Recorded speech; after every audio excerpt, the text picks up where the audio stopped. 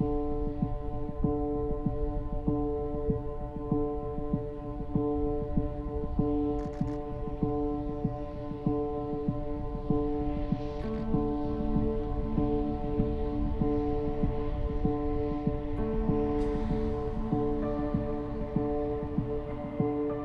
have to return planes. We're, we're targeting to return 22 planes already. We have agreement with the lessors for 22 planes. So we're not sitting on our backsides, we're doing stuff. And this will be returned this year itself. this year and next year.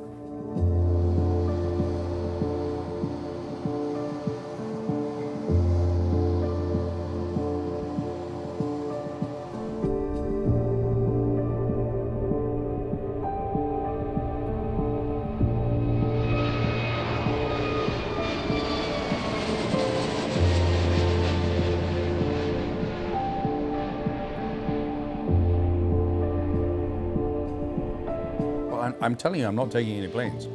How, how can you take planes when you've got 150 sitting on the ground doing nothing? Yeah, I don't see us getting to a position where we want to buy planes for a number of years. And even when you want to buy planes, there are probably going to be a lot of cheap second-hand planes out there. which has now led